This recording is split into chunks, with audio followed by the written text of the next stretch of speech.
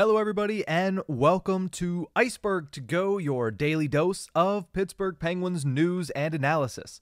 You can find us on YouTube at Inside the Penguins or anywhere you get your podcasts from. It is a great day for hockey, a great day for preseason hockey, and the preseason finale for the Pittsburgh Penguins. It'll be the last tune up game before the games start meaning more, before two points are on the line next Tuesday against the Chicago Blackhawks and rookie sensation Connor Bedard. But some important business to attend to today and in the coming days for Kyle Dubas and the Pittsburgh Penguins, as they still have a few questions with the roster that remain unanswered. And as I mentioned, the Penguins close out their preseason schedule tonight. They'll be on the road against the Buffalo Sabres. They've released their roster. It looks as if we're going to get a tune up game. Mike Sullivan said as much that we are going to get a tune up game, get everything going with their NHL roster, a lot of their NHL roster that is going to be taking the ice later tonight. But like I mentioned,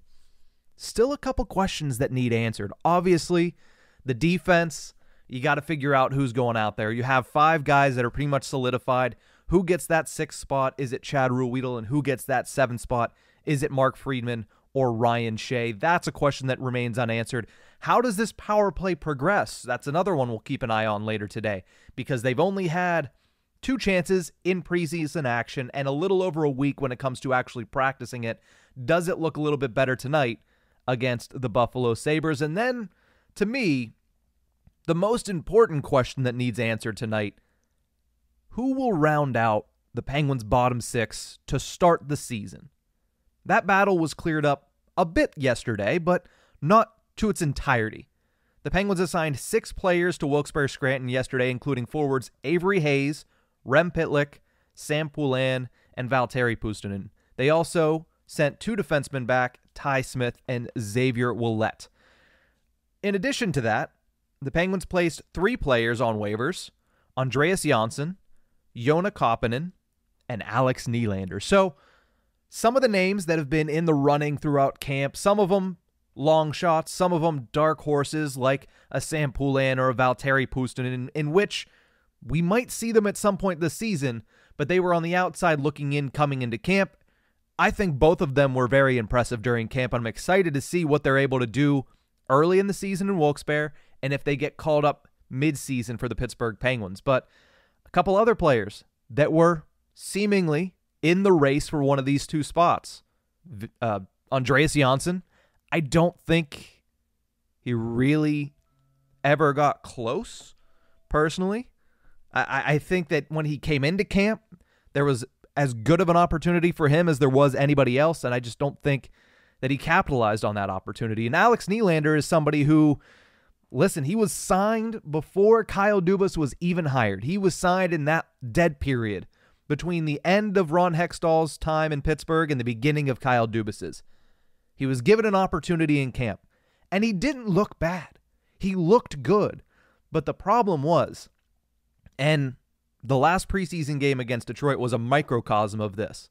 He started off hot and he trailed away and he faded into the background as things started to heat up. Once the opportunity shifted a little bit, because early in training camp, early on the preseason schedule, Alex Nylander's getting tons of ice time in a game. He's getting first line reps in the game. But once these NHLers, these regular NHLers started coming into the lineup and you get your role more aligned with what you're going to be doing if you make the roster, he wasn't able to shine nearly as much. Hence the reason he was placed on waivers yesterday. We have to wait until 2 o'clock Eastern Time today to find out whether or not he was claimed. And if he isn't claimed, will be safely sent down to the Wilkes-Barre Scranton Penguins. The other name that got ruled out yesterday, not officially by him being placed on waivers or him being sent down, but Vinnie Hinostroza seemingly out of the running for the Penguins' bottom six to start the season. He didn't practice with the main group on Thursday, in which some of his peers, people that are also in this battle and on the bubble for the roster, did practice with them. He's not in the lineup later tonight, whereas the other four players that are battling for this bubble spot are in the lineup. Now, there's a chance that that's because, hey, we know Vinnie Hinostroza is going to make the lineup spot, and we just want to see what these other four guys can do for that last spot in general. But realistically, it seems as if he might be on the outside looking in because you look at the rest of the roster that's out there tonight, most of it looks to be the NHL regulars, the guys that are going to be playing next Tuesday against the Chicago Blackhawks. So seemingly Vinnie Hinostroza is out of the running, but not officially. So we have to wait and see how that plays out. So where does that leave the Pittsburgh Penguins? Seemingly two available roster spots on their opening roster. Again, don't ask Mike Sullivan because he will question your math because he knows that at the end of the day, it's up to him and nobody can really guess what he's going to decide and what the organization is thinking at that specific time. If you want an example for that, I've been I've been kind of showed that twice in this preseason already. I counted Radim Zohorna out before camp even started. I said, I don't see how this guy makes the NHL roster because of guys like Vinnie Hinostroza, because of guys like Andreas Johnsson, because of guys like Alex Nylander. Well, those three guys are out of the running. Radim Zohorna still firm in place. And I did the same thing with Jansen Harkins earlier this week.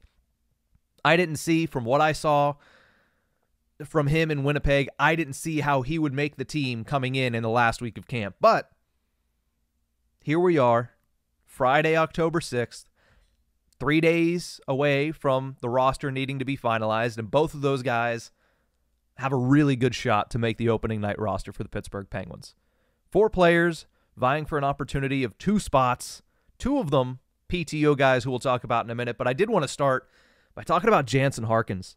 He has quickly made a really good impression, not just on the coaching staff, but on the fan base for the Pittsburgh Penguins he seems to potentially have the inside edge on one of these spots. And again, I don't claim to know what Mike Sullivan is thinking, but looking at what Sullivan has said about this kid and looking at how this kid performed in the last preseason game on Wednesday against the Red Wings, and the fact that he's going to be able to get another opportunity later tonight against the Buffalo Sabres, at least he's on the roster. Whether or not he gets a sweater, that's, you know, remains to be seen.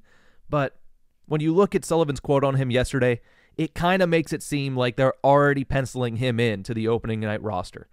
After practice, this is what Sullivan had to say on Jansen Harkins. Quote, he can really shoot the puck. He can really skate. He brings an element of physicality to our game. I think by nature of that, he's going to make us hard to play against. Again, read into it what you will. What I'm taking away from that and what it sounds like to me it sounds like someone that Mike Sullivan expects to be hanging around for a bit longer. It sounds like somebody that Mike Sullivan expects to have at his disposal next Tuesday against the Chicago Blackhawks. So, again, watching his game on on Wednesday, it looked good. It looked real good. I mean, the, the setup and the assist that he was able to get on Xavier Ouellet's goal, the only goal for the Penguins in that game, was nice. And if you rewind that play about three or four seconds, you'll see something that's probably more impressive and something that's probably more conducive to Mike Sullivan liking him is he forced the turnover. His forechecking forced the turnover that started the sequence, and then of course he gets the puck when he cycles back and supports the puck. He gets the puck, sends it down low to Xavier Ouellet, and Ouellet with a beautiful backhand shot to score the goal. That was obviously the highlight for Jansen Harkins. But what you saw throughout the game, the physicality, the ability to just be a prick. Uh, right? Josh Getzoff came on tip of the Ice-Burgh before training camp started. I think it was actually the opening day of training camp. And that's what he said about Vinnie Hinostroza, right? That's what he said about Noel Acciari. He said, listen, the Penguins, they don't have many guys like that. They don't have many pricks. So if you're a guy like that and can play that style, it's going to separate you in this camp. Well, Jansen Harkins came in and immediately showed that side to his game. Not to mention he does have an offensive, you know, upside. I mean, you look at his numbers in the AHL and you just ask yourself, man, if this guy could ever translate that offensive upside into the NHL, he'd be a really good bottom six player. He scored, I believe, 25 and 25. I'll look that up to get the exact numbers last year for the Winnipeg Jets at the AHL level. It just has never translated to the NHL with the offense. But defensively, it has. And that's the thing with the Pittsburgh Penguins because they're looking for players that have that offensive potential. They're hoping that they unlock that offensive potential this year, but they are more inclined to give you a shot if you can back it up with stellar defensive play. Harkins has been good defensively when he's reached the NHL level. He's been good offensively at the AHL level. Here are his numbers from last year when he played for the Manitoba Moose of the AHL 44 games played, 25 goals, 25 assists for 50 points.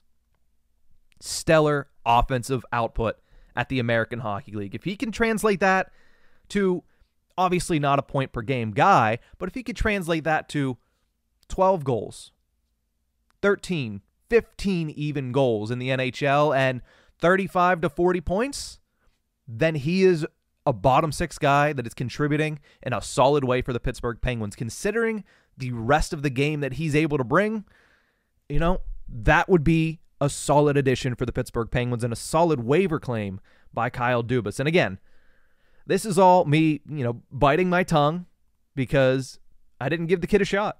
You know, sometimes you get it wrong, and I got it wrong on him. I got it wrong on Radim Zohorna this preseason. There's a reason that I'm not coaching the Pittsburgh Penguins, and that's a piece of humble pie that Mike Sullivan has served me over the past two weeks, which sometimes you got to get put back in line. That's fine by me. Uh, speaking of Radim Zohorna, certainly become one of the top stories at camp once again this year. He was last season and then just didn't do enough to make the roster. Penguins put him on waivers. He was claimed and he was gone. Didn't come back to the Pittsburgh Penguins until this offseason gets another opportunity and once again establishes himself early in camp. This time, though, it's the consistency. He's been able to stay at the top of his game no matter where he's been playing, right?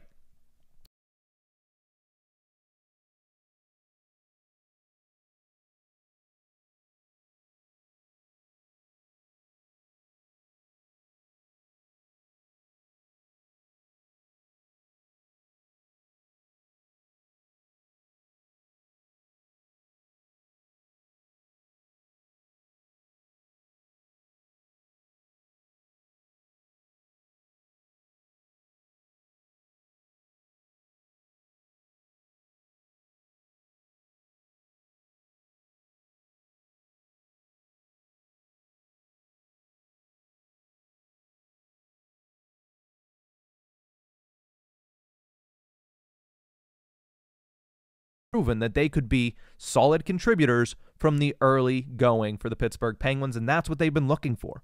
And that's the true meaning of the competition here. And that's why we said coming into training camp, this is the most open competition the Penguins have had in over five years, probably, and as Mike Sullivan said, the entire time that Sullivan has been the head coach of the Pittsburgh Penguins, the most competition and the most open competition. Because guess what?